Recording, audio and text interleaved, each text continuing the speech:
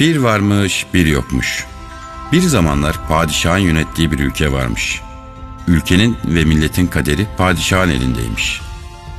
Sonra bir önder padişahlığı bitirmiş, ülkeye demokrasi gelmiş. Halk kulluktan kurtulmuş, vatandaş olmuş. Padişahın güçleri artık milletin olmuş. Millet güçlerini üç kuruma devretmiş. 1. Büyük Millet Meclisi yasama görevini almış.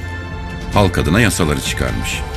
2. Yürütme yani başbakanlık bu yasaların uygulanmasını sağlamış.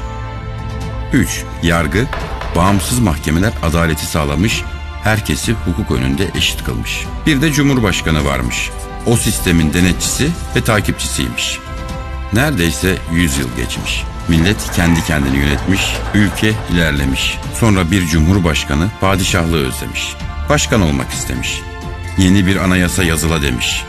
Eskiden cumhurbaşkanı tarafsız olmak zorundaymış. Ama yeni anayasada bu tarafsızlık ortadan kalkmış. Başkan bir siyasi görüşün, bir partinin yani tek bir kesimin temsilcisiymiş. Hem de bu başkan meclisteki çoğunluk partisinin milletvekillerinin kim olacağına da karar verilmiş.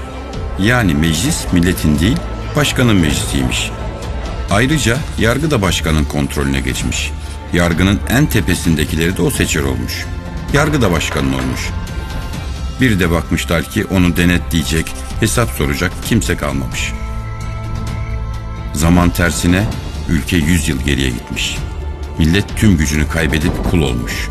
Başkan da yeniden padişah olmuş. Bir varmış, bir yokmuş.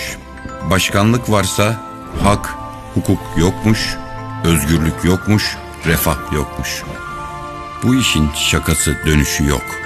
Çok geç olmadan uyan Türkiye. Sandıkta hayır var.